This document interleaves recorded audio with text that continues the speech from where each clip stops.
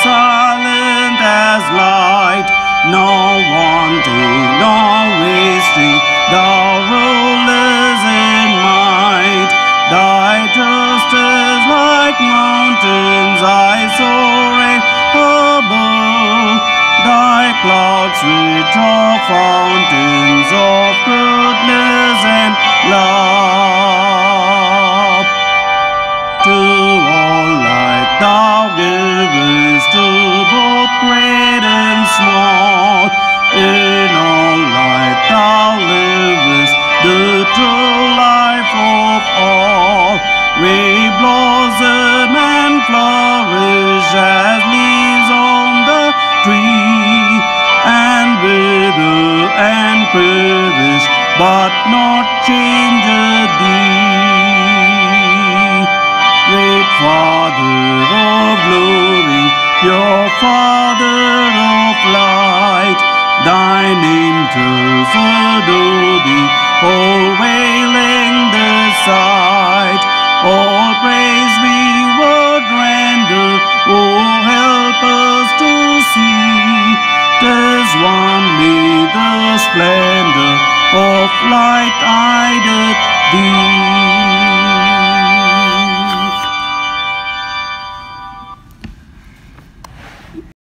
Shall we all greet one another? Though we are at our homes, we can also remember our beloved brothers and sisters who are celebrating their birthdays and also the wedding anniversary. We as pastors join you all to greet all these brethren who are celebrating their birthdays and wedding anniversaries. Let me call out the names of all those who are going to celebrate their birthdays this week and then the wedding anniversaries. The birthdays on 25th May, Mr. Devarakam Asruvadan David, Mr. Mrs. Mano Ranjini Nargunam, Miss Mercy Priya Hamalada. On 27th May, Miss Hosanna Andrea David, Mr. On 28th May, Mr. Daniel Ravi Kumar. On 29th May, Mr. Harris ESA, Mrs. Molly Plip, Master Jehan Christie, Chris, Jehan Chrisley, uh, Mr. B. Kannan. The wedding anniversaries on 25th May, Mr. and Mrs. Pravin Raj, 26th May, Dr. and Mrs. D. Chandramohan, Mr. and Mrs. I.S. Swarup. On 27th May, Dr. and Mrs. Ratnaraj, Mr. and Mrs. S. Sivakumar. On 29th, Mr. and Mrs. Prince Edwin. Shall we all look unto the Lord in prayer for these dearly ones? Most gracious Father, once again we come to you, Lord. We thank you and praise you, Lord, for these brethren who are celebrating their birthdays and wedding anniversaries. We thank you because you have chosen each and every one of them out of the darkness and brought them into the light and made them to be salt and light to the earth and the world. We thank you because you have trusted each and every one of us to be your children for witnessing the gospel which has come to us.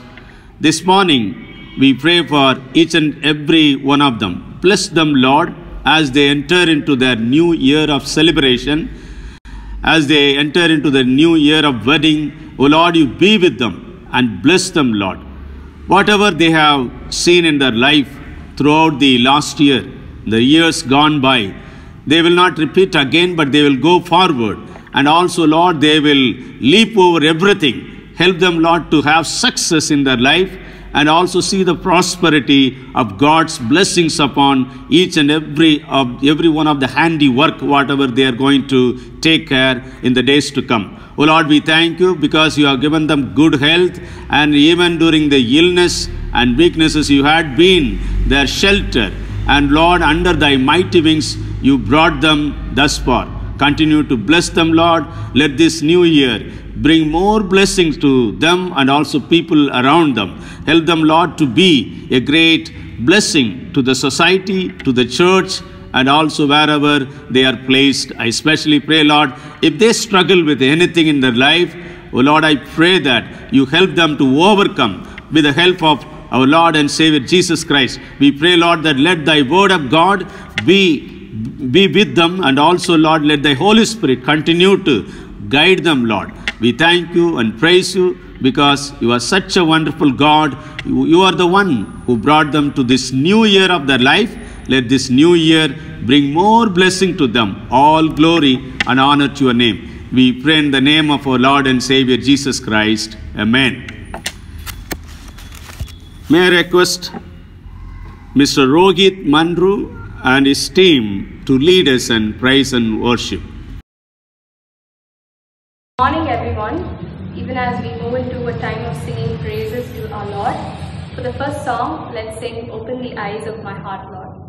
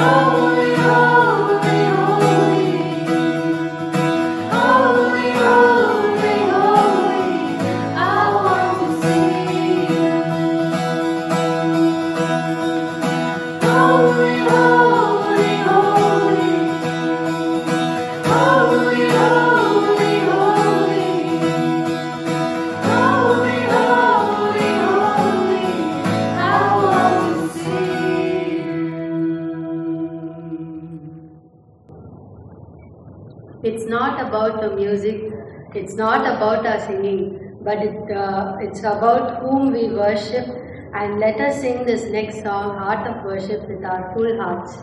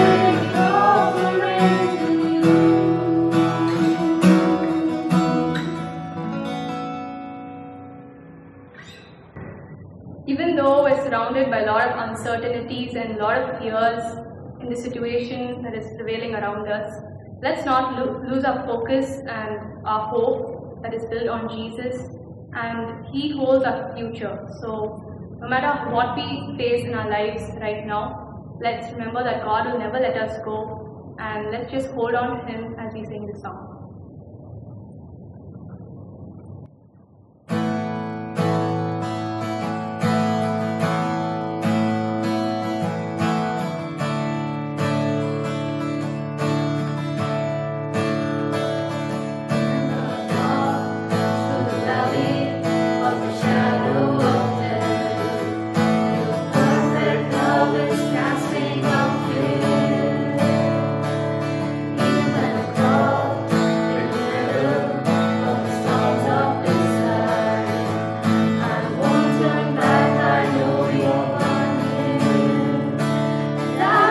you, know.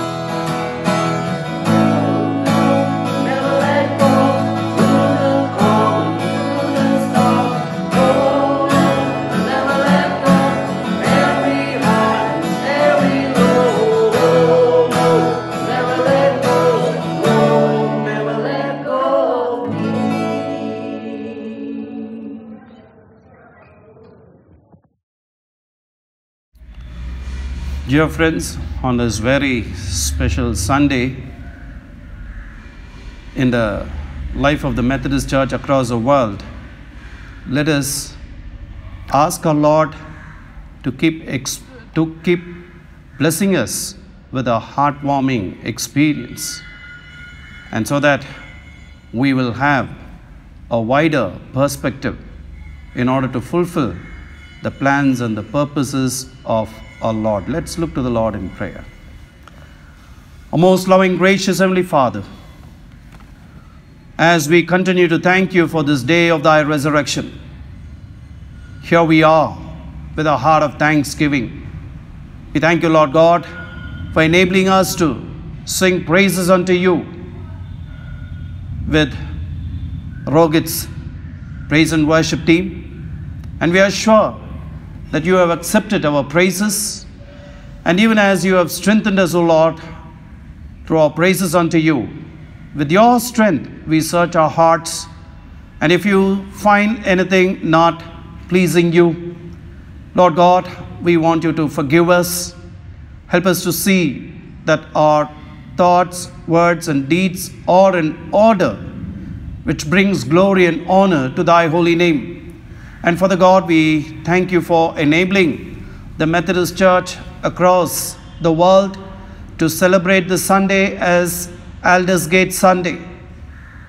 As our founder went through that heartwarming experience, the history says how you took thy servant into many places, particularly among the downtrodden those who were not able to come into the church for various purposes to receive the word.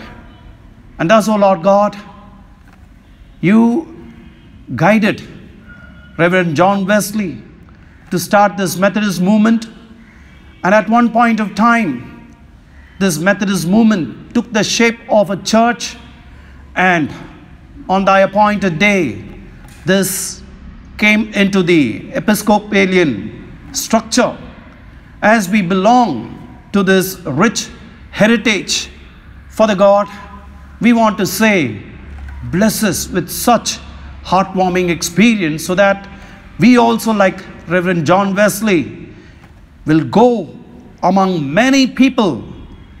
We will look into the welfare of many, O Father. And Lord God, this morning, as we give thanks and praises unto you for enabling us to be part of this Methodist family. It's our prayer.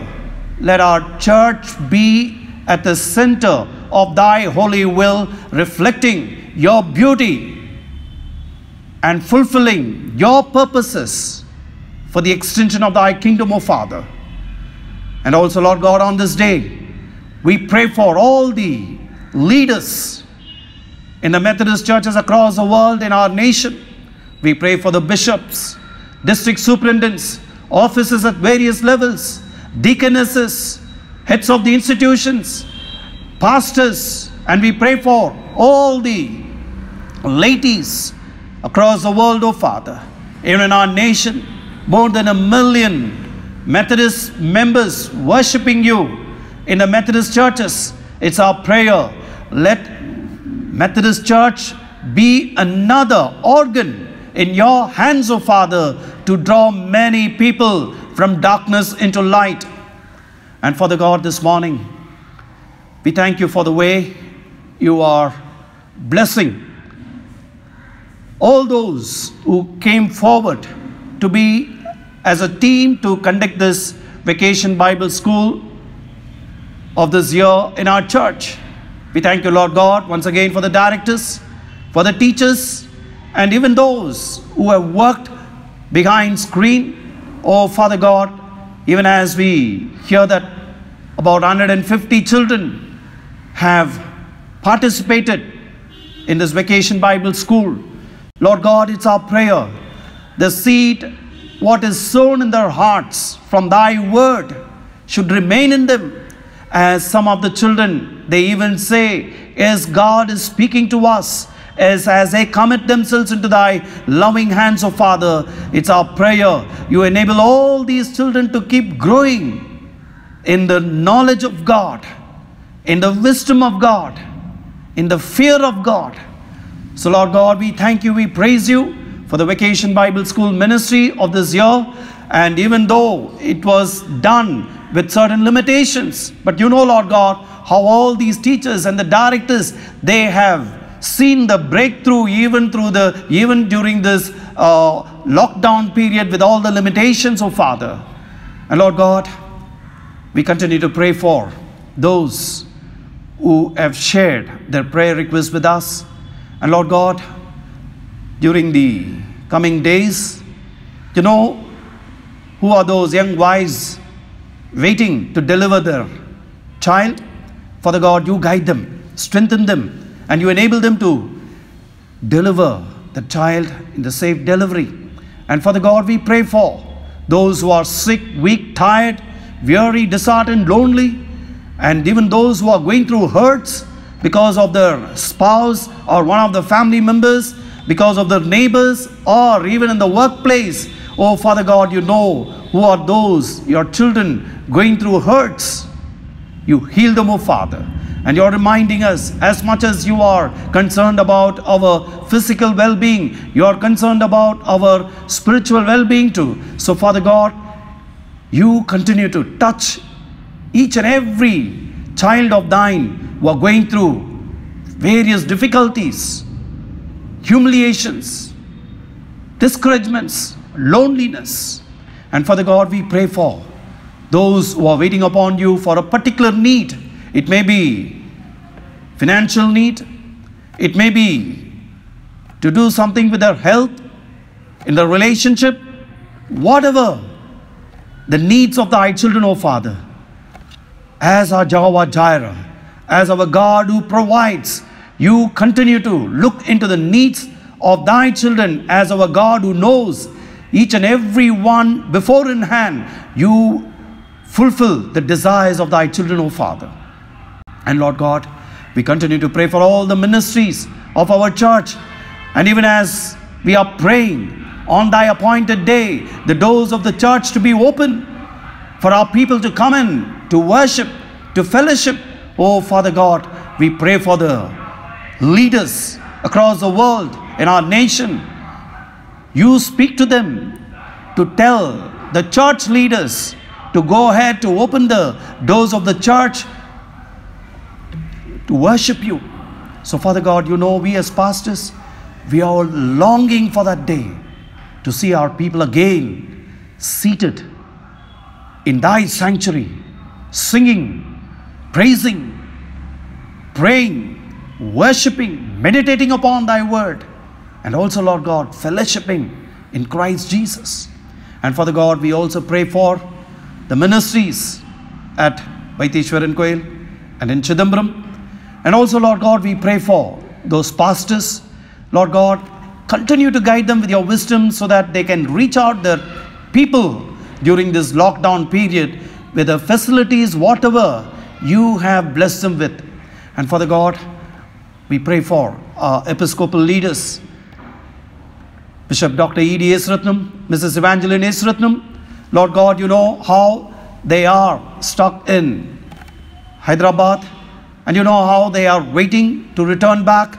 So, Lord God, on thy appointed day, you bring both of them safely back to Chennai and they will continue with their leadership not only in the Chennai Regional Conference but also, Lord God, in the Moradabad Regional Conference. And Father God, we pray for all the bishops. You know how our bishops are waiting upon you, seeking for thy guidance in order to lead the pastors, in order to take care of the churches, what you have entrusted in their hands, O Father. So, Lord God, let all the bishops in MCI seek you. And Father God, we pray for every other prayer request which comes to us, O Lord. And you know how we are all praying for the economy. And here and there we, we hear lot of stories, economists, IMF, and the world leaders are thinking very much about the economy along with the challenges brought by this coronavirus. So, Father God, we will see the miracles even in this aspect of Father. As we all of us are praying that this virus to be erased or a solution to be found, we pray for those doctors, scientists, health workers, and all those who are working 24 into 7 to find the solution, to find the vaccination. As we are praying for them, we also pray for the authorities whom you have appointed. Let these authorities consult with a good economist how to revive the economy. And so, Lord God, we pray for the corporates, we pray for all those who are in the small business or medium or big business. Father God, you enable them to keep looking to you and you guide them with your word, oh Father. And even in our church, you know, we as pastors, we are praying for some of those who are running their own business. Guide them with your wisdom, oh Father. And Lord God, you continue to speak to us as we are worshiping you. And Father God, you speak to us even through the rest of the service. We give you all the glory and honor. And we ask you this in the name of our Lord and Savior Jesus Christ. We start us to pray, Our Father, what in heaven, hallowed be thy name. Thy kingdom come, thy will be done on earth as it is in heaven. Give us this day our daily bread, and forgive us our trespasses as we forgive those who trespass against us. And lead us not into temptation, but deliver us from evil. For thine is the kingdom, the power, and the glory, forever and ever. Amen. The scripture lesson for today's meditation is taken from the first epistles to the Corinthians, chapter 10, verses 23 to 33. It will be read to us by Mr. Albert Devakaram, followed by the message will be brought by our pastor, Reverend Paul Singh. Let us wait upon the Lord while we listen to the reading of the scripture and also the sermon. The Bible reading is taken from 1 Corinthians chapter 10 verses 23 to 33. All things are lawful for me, but not all things are helpful. All things are lawful for me, but not all things edify. Let no one seek his own, but each one the other's well-being.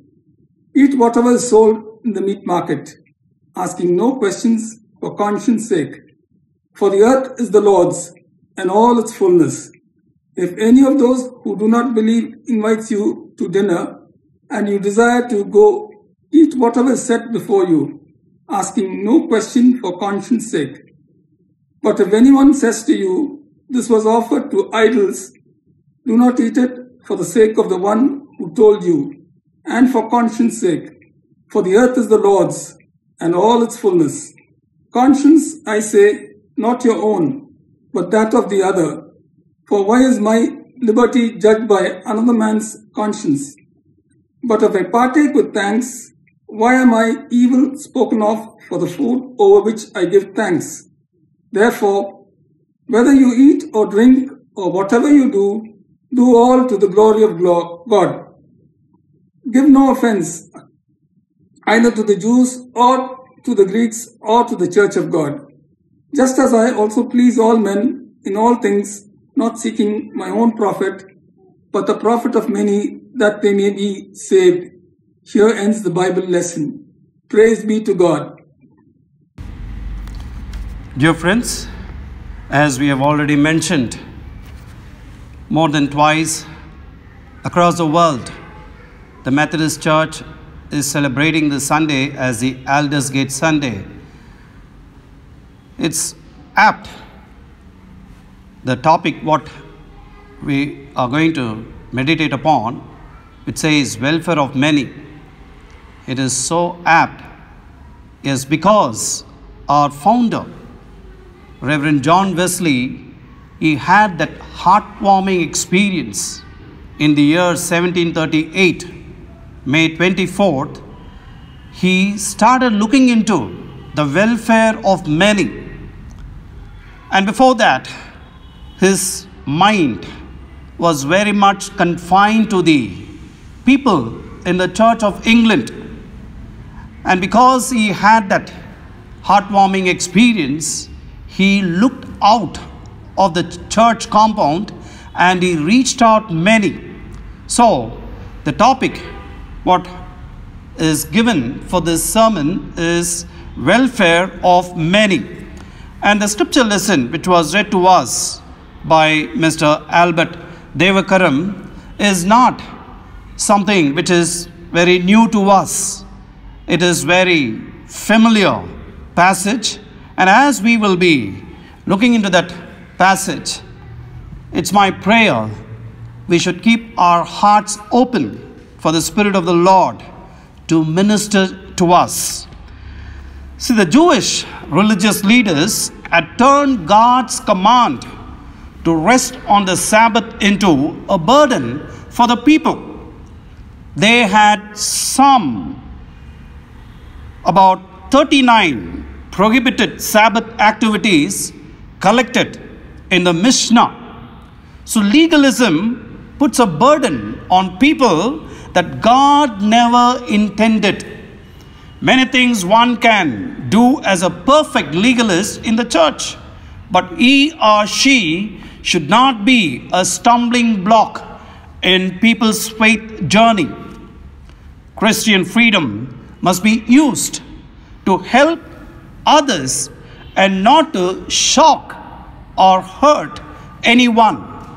Bible says each of us have to take care of ourselves. But also Bible candidly says we have greater duty to others. And I wanted to read to you some of the verses. Psalm 40 uh, Psalm 4 verse 6 says many are asking who can show us any good? Let the light of your face shine upon us o lord.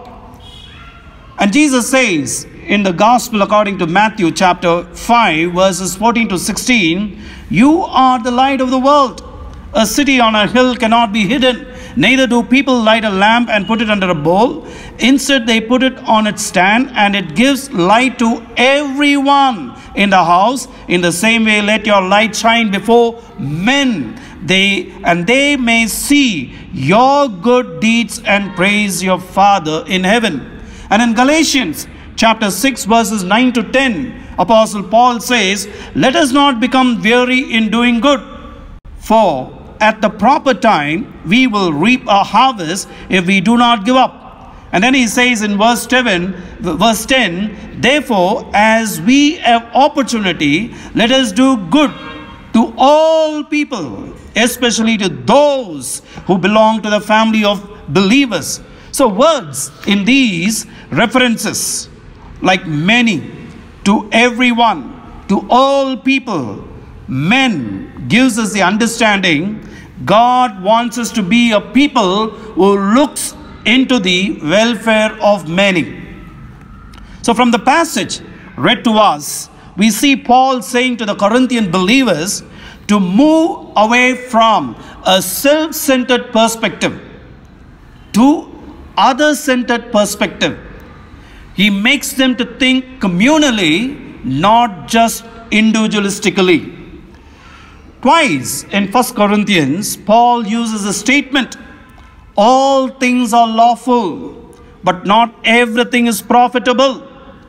We see that in 1 Corinthians chapter 6, verse 12.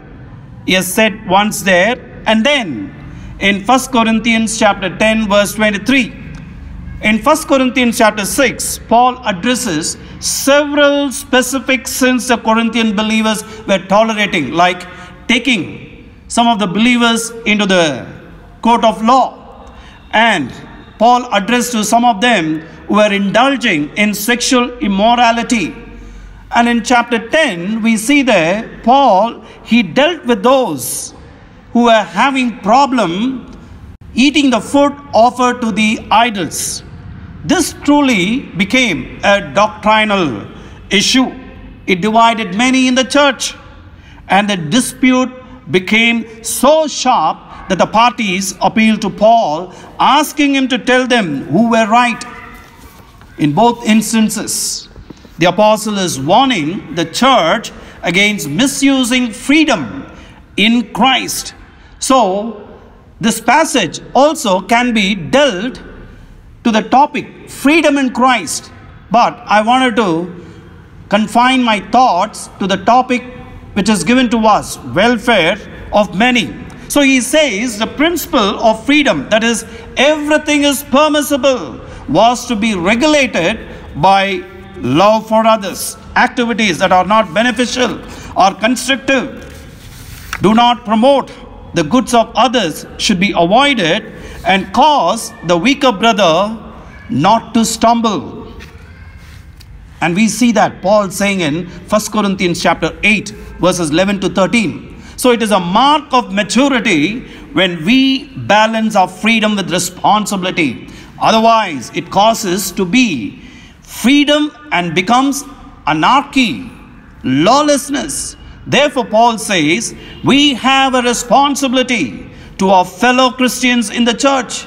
He talks about three responsibilities from this passage which was read to us. And I wanted to take you into these verses and I wanted to keep it very brief. And my prayer is you keep tuning your ears to listen to the still small voice of our Lord. Verses from 23 to 30, Paul says, one should build up others in the faith. That is the first responsibility. One should build up others in the faith. While we do have freedom in Christ, it does not mean we are free to harm another believer. So Paul applied this truth to the approaching question of meat offered to idols. See in 1 Corinthians chapter 8 verses 9 to 13, he warned the believer who publicly participated in pagan feasts. And in this passage, he dealt with private meals.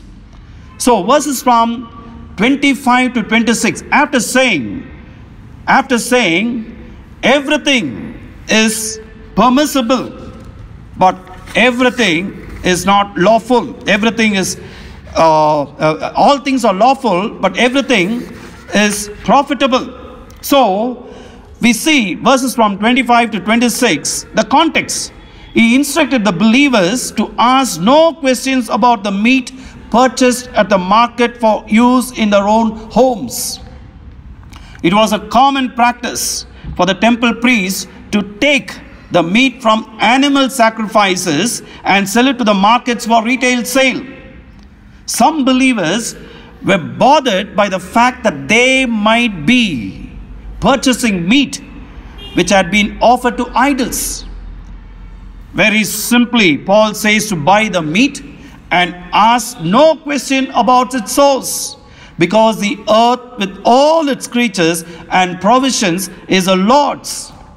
After all, everything comes from God, says Psalmist in Psalm 24, verse 1. Probably Paul has picked up that verse in order to make the people in the church at Corinth to know that everything comes from God. And we see in Matthew chapter 15, verses 17 to 20, Jesus saying, Don't you see that whatever enters the mouth goes into the stomach and then out of the body? But the things that come out of the mouth come from the heart, and these makes a man unclean. For out of the heart comes evil thoughts, murder, adultery, sexual immorality, theft, false testimony, slander. These are what makes a man unclean, but eating with unwashed hands does not make him unclean. So we could see Jesus Christ Himself giving a very beautiful understanding about eating. So, whatever goes in does not harm us, but whatever comes out, it creates any kind of problem to those who listen to us, those who involve in our life. So the mature believer can enjoy in his own home even meat sacrificed to idols. Even if meat purchased at the regular market originally came from the temple, he would not be harmed. I just wanted to say, when I was a small boy, my mother, she does not allow us to eat some of the things comes from the friends of other faith during the festival time. So my mother was so particular that we should not take those sweets or eatables. But as I was growing in the Lord, the Lord made me to know that I have to follow what the scriptures has taught. So from the verses what I read from Matthew chapter 15 verses 17 to 20, one is given to understand the food wherever we eat does not harm us. So everything is from above. So that maturity, when we have, we know how to handle not only the food offered to the idols, but also we know to handle every other situation which are as hindrances for us to look into the welfare of many. So, what about those times when the believer is a guest in the home of an unbeliever? So, first, Paul has said, verses from 25 to 26, a believer should not question the shopkeeper what kind of meat is this? Is it offered to the idols? Paul says simply buy that, say the grace, and have it in the name of the Lord.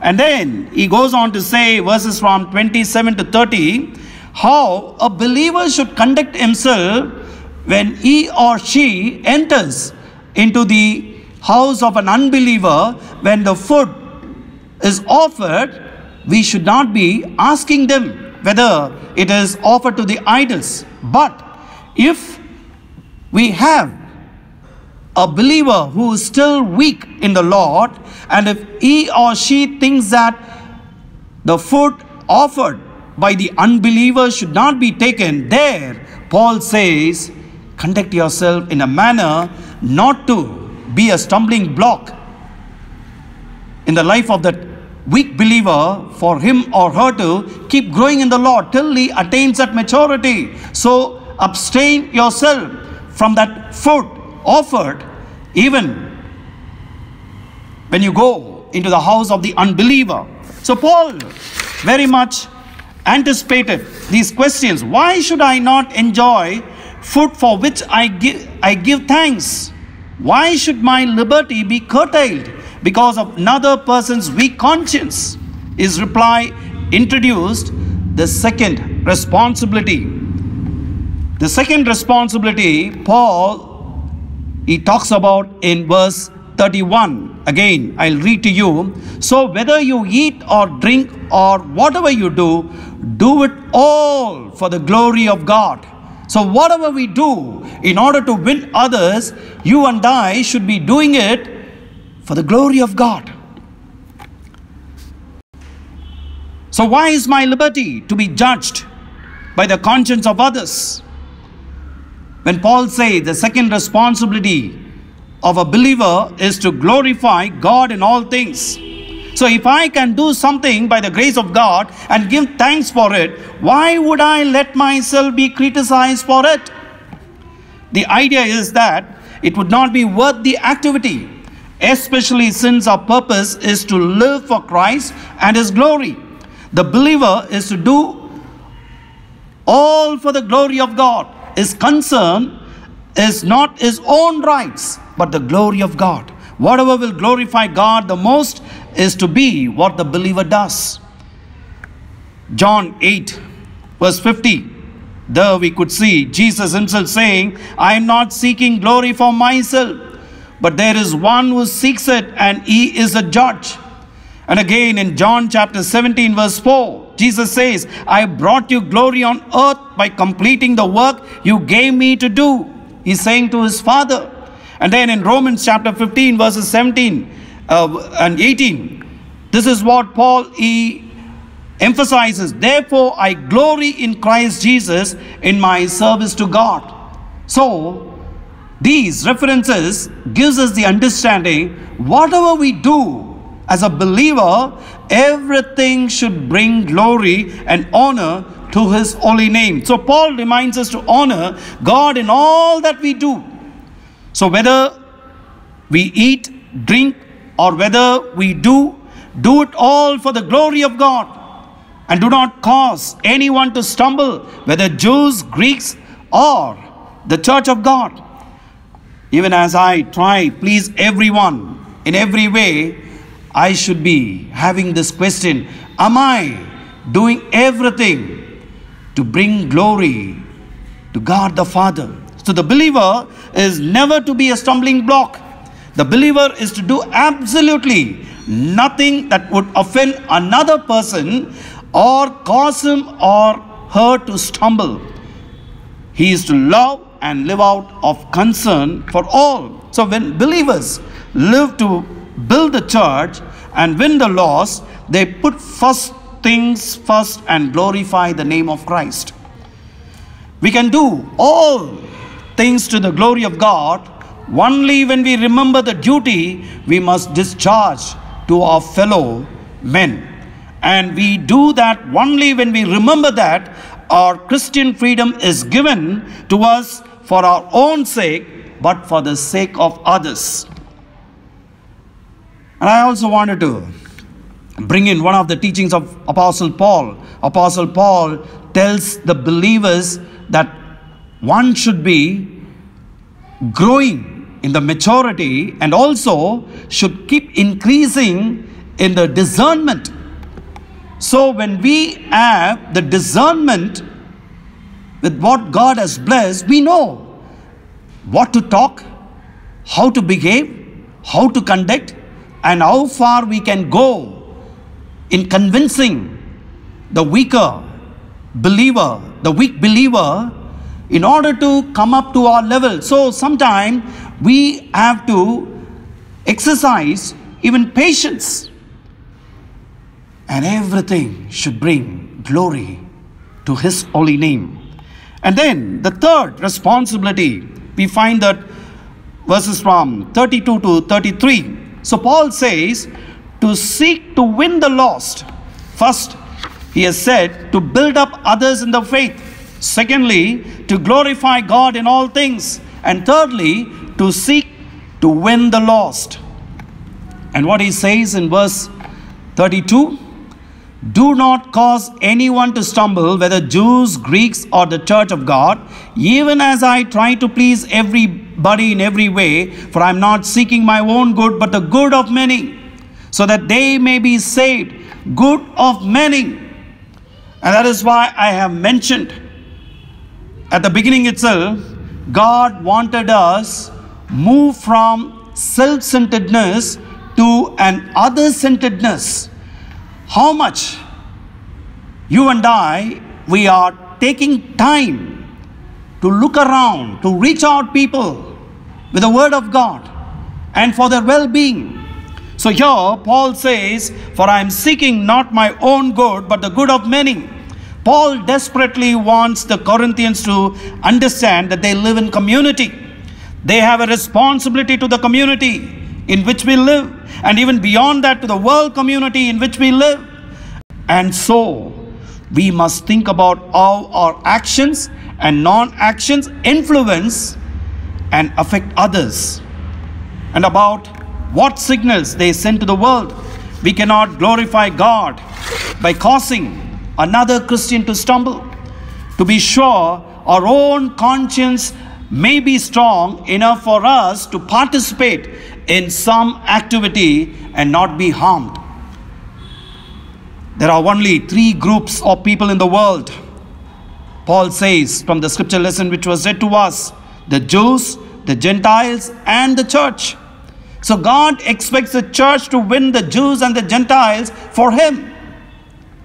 So you and I cannot be satisfied with the blessings that is gift of salvation and our spiritual growth, our spiritual understanding. We cannot say, okay, I'll keep this for myself.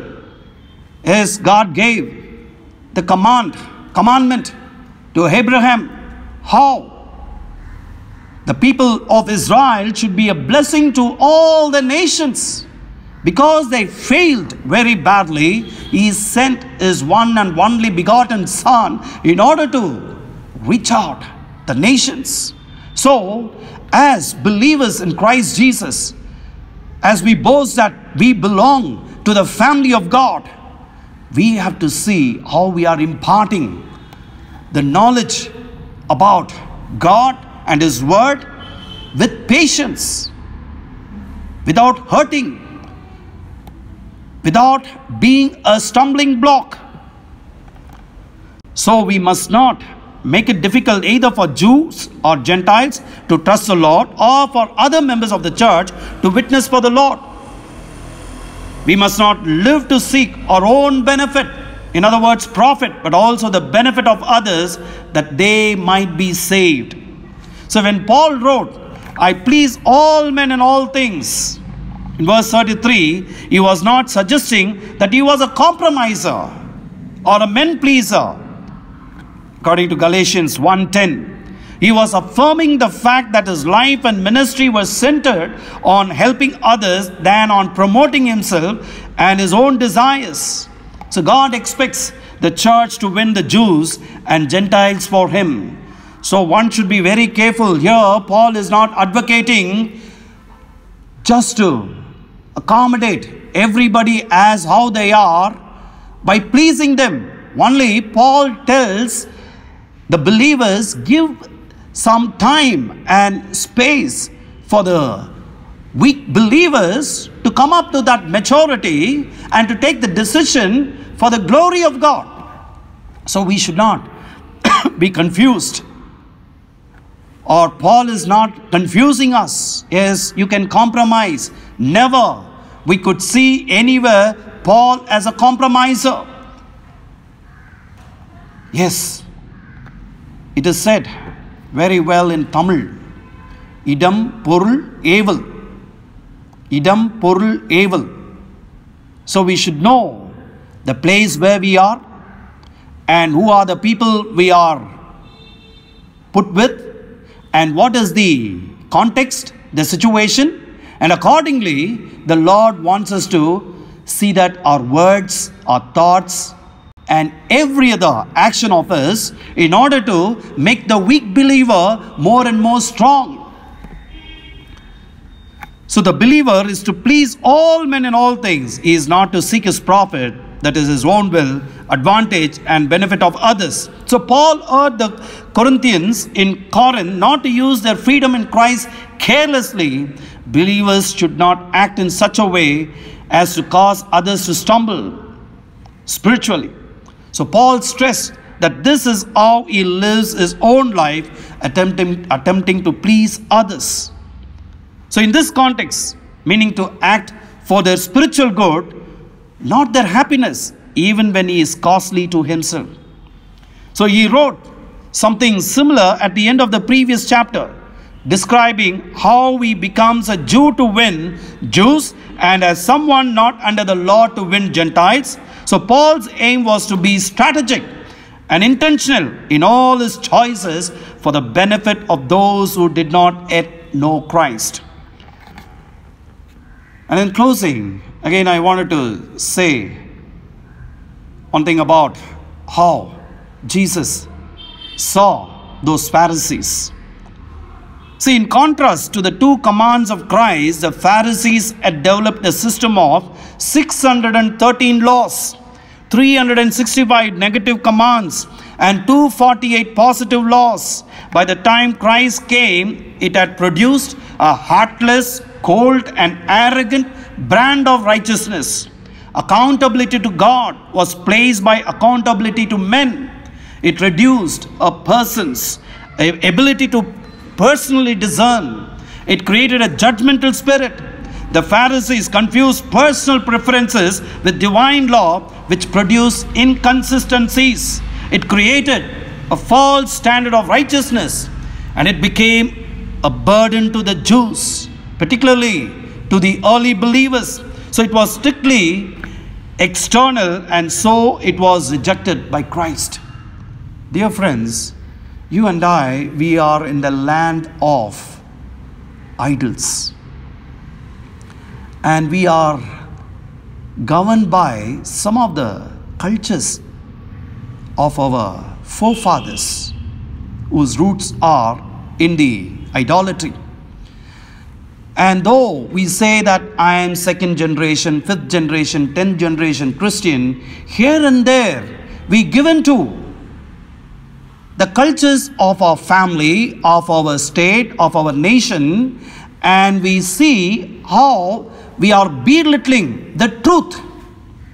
So when we belittle the truth, it makes the weak believer to get confused. And the weak believer even to get disturbed with our actions based on the culture which has come out of the idols.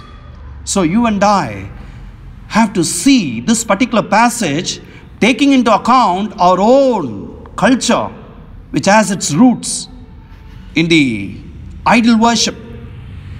And so, in the church, as strong believers, we should always ask the Lord to bless us with that kind of wisdom, patience, and perseverance in order to help the weak believers, in order to help many to come into the welfare or into the commonwealth of our Lord and Savior Jesus Christ. So, let us continue to ponder upon the word which has come to us this morning from this very familiar passage. May the Lord continue to speak to us. Dear friends, in closing, let us all sing this hymn All to Jesus I surrender, all to Him I freely give.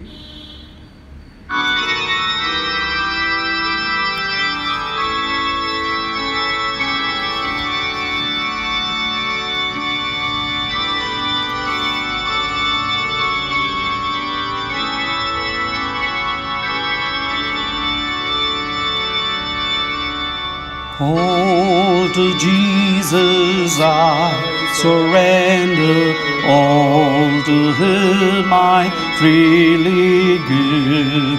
I will live, love, and trust Him in His presence daily live. I surrender all.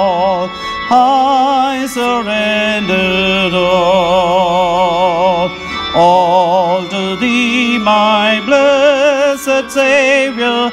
I surrender all, all to Jesus. I surrender.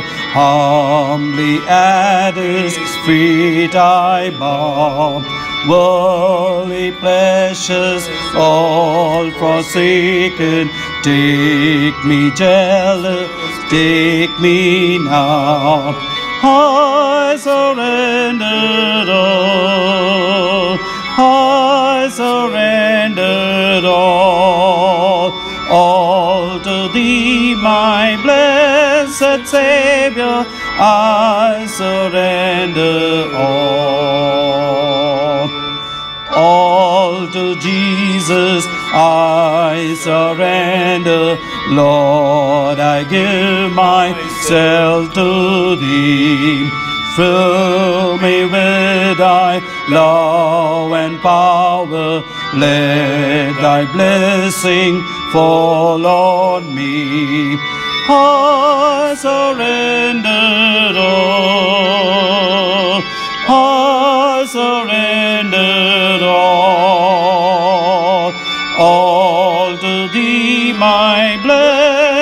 Savior. I surrender all.